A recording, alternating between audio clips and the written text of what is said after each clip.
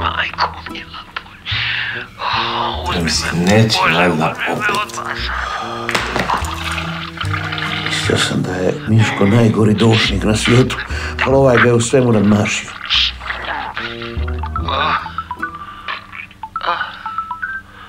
Alo, Halo, jel bi nam mogo, molim te, ne kenjat na uho?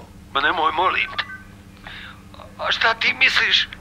Da se meni ide na stranu ovako ozvučen, jel?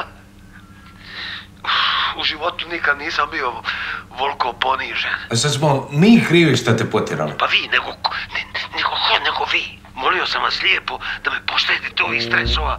I, evo šta sad, slušajte, kako Mio Štiglić ostavlja dušu na z- zahadu.